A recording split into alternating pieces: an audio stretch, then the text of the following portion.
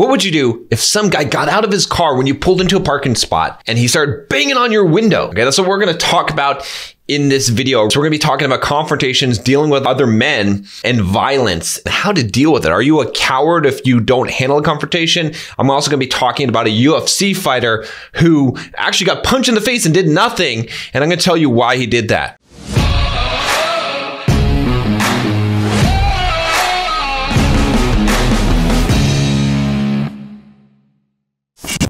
I got this email. He says, Good morning, John. I was just wondering if I could hear your opinion about a scary situation I was in a few weeks ago. I was running a few errands downtown and parked my car on the street next to the store I was going into and got out of my car. And a man in his pickup truck told me that he was going to take that parking spot and that he had his blinker on. And I told him, My bad, I'll go move. And he rudely yelled, Well, hurry up. I got back in my car and reversed it to a new parking spot, and the guy parked into another parking spot right in front of me that freed up. Okay. I sat in my car for a couple minutes and the guy got out of his pickup truck and saw me sitting in my car and walked up to my window and knocked assertively. I held my hands up and tried telling him, Hey man, it was an accident. And then he grabbed my door handle and tried yanking it open, but thankfully it was locked. I was appalled and screamed, fuck you, with my middle finger up and sped off because I couldn't believe he tried yanking my door open. I circled back around to get his license plate to give it to the police, but he had already left. And the police officer who responded told me that he couldn't really do anything because there were no street cameras where the incident happened. I was very shook up and still keep having these what if thoughts. Like, if I didn't wait in my car for a couple of minutes and got out right away, like most people would have, would he have beat me up? What do you honestly think his intention was? Just to get in my face? If I just remained calm and apologized to him, he would have let me go? Or do you think he was determined to hurt me? What do you honestly think would have happened if I was outside my car when he confronted me? I know you have a lot of experience with physical altercations and you give a lot of advice on confrontation management. What do you think can be learned from this experience? Do you suggest I get into learning self defense and carry pepper spray with me everywhere? I look forward to hearing from you and your take on this. Okay. So, so, so, so many things to talk about here. Gosh, so, so much of this. All right. So, first of all, let me just break this down. Let's break this down and let's see how he should have handled the situation, what he could have done in a couple of scenarios here. So, the first thing that happened here was that uh, you know this guy told me he was going to take that parking spot and then he had his blinker on and i told him my bad i'll go move and he rudely yelled well hurry up okay so you can see what happened here is that he told me he was going to take that parking spot. So probably this guy was fairly calm at this point. What set the guy off? Well, here's what it is. He said, My bad, I'll go move. Now, why would that set a guy off? Because you're showing weakness, okay? Because it's pathetic, all right? Because he could have said, you know what? I was here first and I'm going to take that spot. Now, it, it might have escalated the confrontation to some degree, but at least the guy would have had respect for you. Even then, if he really honestly believed that the guy had his blinker on or he doesn't care about the situation, he could just say, All right, you can take the spot go ahead. All right. You know what I mean? Or you can say something like that. Just don't say my bad. Just don't act apologetically. I'm going to guess what his demeanor was. His face, it was basically like, you know, just, just letting this guy bully him around. And so then the guy gets set up that this is how you encourage a bully is by you, you cowering, you backing down to them. All right. It doesn't mean you have to get in his face. It doesn't mean you have to yell at him. You can be calm and contained and you can say, if your blinker was on and you were waiting for this spot, then sir, it is yours and I will give it to you. Okay. And then if a guy yells at you, hurry up that's where it's like, no, look, you need to calm down. I'm going to move out of there and I will give you the spot, but I will take whatever time that I need to do this, right? You have to stand your ground on these situations, but you're acting polite, okay? You're acting assertive, you're acting polite, all right? You're not escalating the conversation, but you're also making it where the guy does not necessarily think that he's just gonna run you over, okay? So sometimes that creates that adrenaline. The guy gets pumped up. He's like, yeah, yeah, I wanna punch this little squirt in the face, all right? You don't wanna create that kind of scenario. Again, maybe there's nothing he could have done here. Maybe acting that way, it would still escalate, whatever, okay? But my point is, do not immediately show weakness, all right? Don't apologize, don't act apologetic, all right? Just acknowledge. If, if someone is waiting for a spot and, and they're entitled to that spot, it's fine. You can be like, look, all right, if you did have your blink on and you're waiting, that's fine. I'll, I'll move out of there. If they're gonna yell, hurry up at you, okay, you can be like, look, I will do it. You need to chill out, all right? Again, sometimes when you tell people to chill out, it makes them more mad, but it doesn't matter in this case because you are asserting yourself, all right? You're saying, look, you're not getting upset. You're not yelling in his face. You're not like, hey, don't tell me to, sh- to hurry up. That see, that would be the wrong response. Okay, to ignore it is the wrong response as well. You gotta like assert yourself. Gotta be like, look, hey, this is a boundary here. You don't tell me to hurry up when I'm I'm basically doing you a favor. All right, this is the scenario. All right, now let's break this down a little bit further. Okay, not, not it's not super important there. So he gets into the parking spot. Okay, the guy parking spot the, in front of the freed up. Okay, sat in my car for a couple minutes. The guy got out of his pickup truck and saw me sitting in the car and walked up to my window and knocked assertively. Okay, so when the guy knocks assertively on your window, you need to address the situation and face it like a man. Now, again, there's a little bit of a calculation here as, as whether it's worth risking an altercation or not. But you disarm a situation by facing it a lot of times, right? Running away, locking the door, you know, doing, oh, you know, with your hands up, like, I'm sorry, right? Hey, man, it was an accident. No, you need to not panic, not freak out, and be sincere. So in this case, you could roll down the window and you could say, how can I help you, right? So you want to hear his grievance. What is his problem? Okay, what, what's the issue? Don't immediately say, hey, it was an accident. He doesn't want to hear that. That's weakness. It's going to infuriate him more. It's like giving steak to a, a rabid dog. Instead, you just want to say, hey, look, what's going on? How can I help you? Right? You're not apologizing. Okay. You're not acting, you know, sorry for it. You're just acknowledging what happened. You're empathizing. Okay. See, no one wants that apology. They don't want the scared. They want the empathy. Now, again, do you have to necessarily do that? There's other ways you can play it. Okay. If you're trying to avoid a confrontation, that's probably the best way to play it. But you can also draw a line. You can say, hey, look, man, this is enough here. I heard what you had to say. All right. You, you can't be like pounding on my window and, and all this stuff. You, you, need to go about your day, sir. You can say that. And then if he yes, you can say, look, I don't want to get like the police involved on this in this situation. But if you keep on harassing me, I, am not going to have any other choice than to do that. Right. So again, you have to be, say that in a firm way. Or I mean, if you really want to, you can go out, get out your car, face him, and, and basically say, hey, all right, if you want to go, let's go. I don't recommend that approach. Okay, it's just not good. It's just not smart. What are you proving? What, what's the necessity of it? Okay, if you have to defend yourself, then it's different. Okay, does this make sense so far, guys? Okay, the whole idea is that you always need to make analytical decisions based on your logic and reason and thinking about what is your objective what are you trying to accomplish here okay?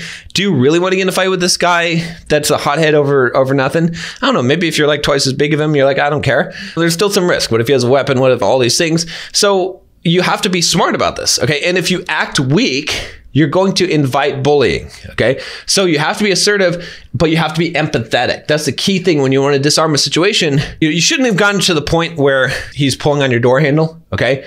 What I would do in that case is I would unlock my door and I would get out. Okay. And I would say, What is your issue? And then listen to him and then hear what he has to say and then respond from there empathetically. Okay. Now, if he continues or if he does something to my car or something like that, then there might be a problem. Okay. Then I'm going to stand up for myself. I'm going to assert myself. I'm going to protect my property in that case. I'm going to assess the situation. I'm going to look at how big he is. I'm going to look at does it look like he's the kind of guy that might have a gun or a weapon on him? And I'm going to, you know, look at what are my surroundings, where are other people, what's likely to happen in this scenario. And I'm going to decide but I'm not just going to let someone push me around. And if he does, I'm going to be ready, right? I'm going to be ready to fight him, but I'm not going to throw a punch at him. I'm not going to, you know, escalate it that way, but I'm going to be ready. That's what I'm going to do. Okay. If you want to just drive away without escalating any further, that's also fine, but let's not get it to the point. See, the problem is getting it to the point where the guy's pulling on the door handle. All right. I know I'm seeming to overanalyze this, but I want you to understand that the different ways you can handle this situation. Okay. The thing here is, again, calling the police on him, probably not a smart idea either, because he didn't really commit a crime. He didn't even assault you. So there's probably something that they could be written up for, but not a good idea, especially to get someone charged with a minor crime where they're going to get out and they're going to maybe find you. Like, eh, I wouldn't do that. I, I wouldn't do that. Handle that like a, a man. You know what I mean? So he says here, he asks about um, what happened if I didn't get wait in my car a couple minutes and got right out, just so most people have? Would he have beat me up? Probably not, man. He probably would not have beaten you up. It's probably because he saw you sitting in the car. He probably thought something in his head about what you're talking shit about him or something, or he thought you were scared of him or whatever, and he saw that as an opportunity. If you just got right out of your car like nothing happened, didn't make it a big deal at all, okay? Like if you feel like he's a, he's pissed off and he might do something that you could, or you see him walking towards you, and you walk towards him and you say, "Hey, hey, man, you know, I I didn't see you there. You know, it looks like we both got a spot, so it's it's all good, man. You got to expect what's going to come and you got to face these things as a man. You can't just be running away or locking yourself in your car. Okay. It's different in different situations, but in this situation, one little thing like this, who knows? And if you're going in, you know, you leave your car, you go into a public place, very, very unlikely that he's going to beat you up. Okay, very, very unlikely. And who says he's going to beat you up? You need to defend yourself. All right, so so you probably do need to learn some kind of defense there. And and sometimes you just got to get beat up in life. Okay, I just sometimes you just got to take your licks. Sometimes shit's to happen to you. All right. You can't be afraid that shit's to happen to you everywhere you go. It could happen. Okay. But the more cowardly you are and the more that you don't face up to things, the more people are to bully you, just like in high school. Okay. Because you're, you're showing so much weakness. All right. Now, what do I think his intention was? I think he was just having a bad day and he wanted to bully you, basically. All right. So he says to just get in my face, or and if I just remain calm, apologize to him, would he have let me go? Okay, so this is the big mistake. Do not apologize. Why do I have to always say this to you guys? Okay, by the way, if you want some lessons on this kind of stuff, join the Bulldog Mindset membership. There's a link down below, $7 for the first month. If you don't like it, I'll give you your money back. So it's totally free, basically. All right, I've got stuff on dating, women, relationships, on investing, money, even crypto stuff, building a business, become financially independent, all the fitness stuff, all the mindset stuff, all these kind of things that I go really into depth in the membership. And there's a live stream and all kinds of stuff. Just go check it out. For $7, that you can get back if you don't like it, okay, it's worth it for you, okay? So now, as far as apologizing, right? Do not apologize. It shows too much weakness, okay? It is a bad, bad move, all right? If you got out of the car, okay, remain calm and apologize to him, that's going to more likely cause a confrontation. Do not apologize, okay? Instead, acknowledge. It's better to acknowledge than to apologize. Acknowledge, all right? Recount the facts. Imagine someone does something wrong to you. Do you want them to say, oh, I'm so sorry, blah, blah, blah, blah, blah, right? No, you want them to acknowledge what they did that that's more meaningful to say uh, and to uh, to understand how it made you feel. That's more meaningful. Okay. Again, you're dealing with a crazy kind of redneckish probably guy, so you got to dumb it down. All right. So don't apologize though. Never apologize, explain, or complain. One of my principles. All right. So what do you honestly think would have happened if I was outside my car and he confronted me? I don't know. I don't care. It doesn't matter. You have to face life, man. You cannot be a fucking coward. Okay. Uh, maybe he, he's probably not going to kill you. okay you you get maybe get in a fight all right? And then he goes to jail probably. That's probably what happens and he's off the streets for a while at least you know? I, I don't know. So he says I, I, know you have a lot of experience with physical altercations. So what can be learned from experience do i suggest? Okay yes learn self-defense. You don't need to carry pepper spray with you but you should obviously learn how to box all right? Good get in there learn how to box or do some muay thai or something like that. As a man you guys should all be learning how to do that. But let me talk about the, the last thing about the physical altercations and stuff like that. Okay. I did a video on it where this guy in this bar, you know, one of my friends was hitting on his girlfriend or whatever, and he was getting up in my face. And, uh, you know, I got right up in his face and I gave him a big old hug. We, we had a good time, joked about it. Like, you don't show weakness in altercations w- with men, all right? Because they don't respect weakness. I don't respect a weak fucking pussy of a man, all right? I respect a man that doesn't show weakness, but then shows empathy, right? I can joke around. Like, I, am pretty sure that no one's to fight me for a couple of reasons, but mostly because even if I get into it, I'm to joke around. I'm to maneuver out. I'm to figure out how else can we solve this, man? Like, the big thing here is thinking analytically about how you want the situation to come out. It's not about proving how bigger you or stronger you are and getting into fights with guys. I've gotten in plenty of fights with guys. It doesn't matter. Someone can sucker punch you. They can get lucky, whatever. Their friends could be around. You could get stabbed. You can, there's a lot of bad things that could happen. You could get curb stomped. There's a lot of things. It doesn't matter if you're a better fighter. It doesn't matter it, to show your toughness. Okay, that, that stuff doesn't matter. It, you have to still be standing your ground in, in the sense that you're not being a coward, you're not being weak, you're not apologizing. Okay, because no one is going to respect weakness. But at the same time, it doesn't mean you have to escalate it to violence. You can try to figure out another way. And then if you have to defend yourself, obviously defend yourself. Okay. Very, very important. Now, one thing I was going to say, last thing is about this UFC fighter. I can't remember his name, but I just stumbled across this video and I talked about this in the live stream, the Bulldog Mindset membership, which if you got to get on those live streams, man, they're, they're awesome. Anyway, basically the short story of this is that he was in New Orleans. All right. This guy punched him in the face. Okay. And this is a big UFC fighter from the UK. And he was like filming something in New Orleans. The guy was like, "Don't film here, don't film me, or whatever." And he was like, "Fuck you! I film wherever I want. This is a public place." And then the guy sucker punched him. All right, and it didn't even hurt him really. You know what I mean? But he just laughed about it. he didn't care. He didn't say get in a fight with the guy. He didn't yell at the guy. He was with his family. He was with his kids. He analyzed the situation. He get upset. He knows he could mop the floor with this guy. I mean, are you kidding me? Okay. But he's like, I didn't really get physically damaged by it. It was a little punch. The guy can't even throw a punch, whatever. So I just left. I just left. Right. That's it. Okay, so think about it. This is peak masculinity here. You might be like, oh, this guy's a coward. What? He's not a coward. He's a famous UFC fighter. Okay, you could have mopped the floor with that guy. But he said, okay, maybe the guy has a gun, maybe he has a knife, whatever. Maybe he's tweaked out. All right, I've got my family here. It's not worth it. And, he, and there's no real threat. He just punched me one time. Okay, think about that. How many people, if they told you that story, you'd be like, you're such a fucking wuss. I can't believe you let some guy punch you and you walked off. You didn't show him who's boss. No, no. He thought analytically. He knows he can kick the guy's ass. He doesn't need to prove anything. Okay. There was no imminent danger. Right. It's different if it was like the guy's preventing you from leaving, or he's trying to rob you, or he's trying to hurt your family or someone else. Different. Then you're going to have to defend yourself or defend other people.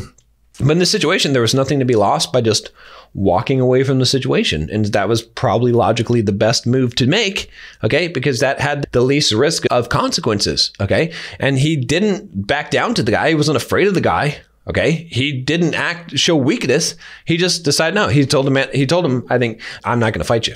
You know, that's it. You know, I'm just going to go. All right, and that's it. Okay, so think about that. Why is that the peak of masculinity? Because he has nothing to prove. He does what he wants to do. Okay.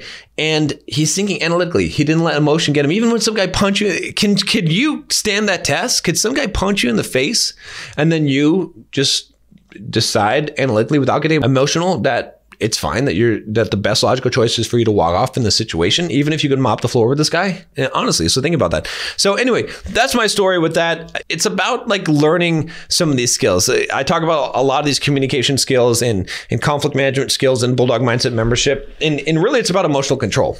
Because you have emotional control, you'll think about these things, right? You'll think about what to do in the situation and you'll know, you'll know how to build rapport with people. Again, building your social skills, very useful in, in this situation. Because if you can game girls, you can game guys, okay? It's very difficult for me to get into a situation where someone doesn't like me, right? Because I, I can become a likable guy. I'm, I'm a likable guy, right? I can get along with people. I can empathize with them, right? I have all these tools in my tool belt. Again, Bulldog Mindset membership. If you guys enjoyed, and if you like this video, click that like button. It does really help with the YouTube algorithm.